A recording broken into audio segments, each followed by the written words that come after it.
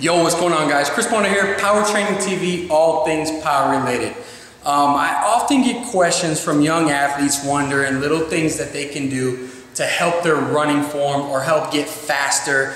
They want to see immediate results. So what I'm going to do is I'm going to put together a, basic three exercise warm up for you guys that's going to basically, if some of you do it right, will instantaneously make you a little bit faster and start ingraining those motor patterns that, uh, that'll get you to obtain a faster sprint. So first and foremost, let's start from the top and move down. Let's start from the shoulder complex, okay? Usually I would start from the feet coming up and work on different things, but for this matter, these are just three warm-up exercises that can help you guys out.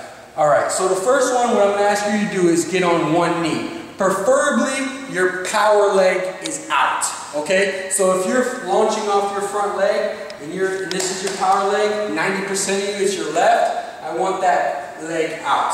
All you're going to do is get on one knee. All I want to train here is I want to get fluid motion in the shoulders, and I want to train that, that you need to move a longer lever. A lot of guys, when they run, they move from their elbow to their fingers. What that looks like is this. All right? The lever that we're working on is from the elbow to the shoulder. So what I want you to do is I want you to reach really far and just get a solid fluid motion back and forth. Soon as you obtain this for about 10 seconds, you're going to break the elbow down to 90 and stick it there. So it's going to look like this.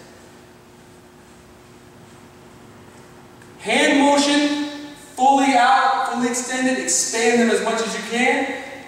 I want you back pocket, to face, okay? As soon as you get that fluid motion down, you can let it rip for a little bit. You should feel a slight bounce in your knee. The second exercise warm-up that we're going to do is going to be activating certain muscles that you're going to be using in your run.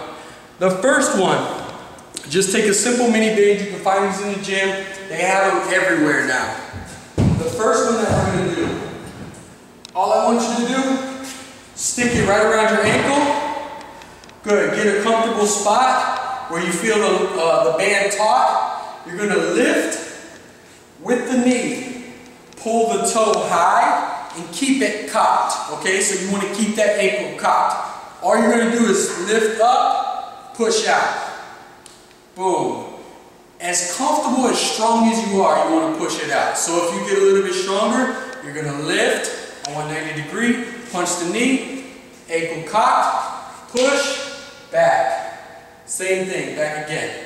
This is going to activate the hip flexors and get that cycle that we want when you're sprinting.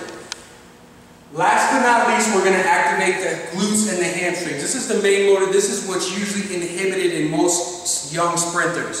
So all I want you to do is turn around, put the back of the ankle now around the Achilles, in the same area. What you're going to work now is have one hand solid for your foundation. Make sure the band is taut. All you're going to do is cock the ankle and push back. Push back. Straighten it out. Almost like you want to claw the ground, but you're not touching it. So you want to claw and pull. Boom. Boom. Ingrain that motor pattern.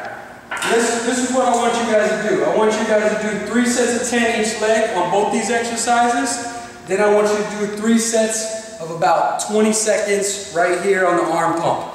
Do that in your warm-up. I guarantee it'll help you guys out. Check it out. Try it out. Chris Barnard, Power Training TV.